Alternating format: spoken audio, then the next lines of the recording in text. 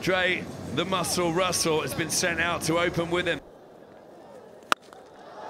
But when you miss, Andre Russell hits. Grip to bowl full. That is a slower one, and has been boshed downtown for half a dozen.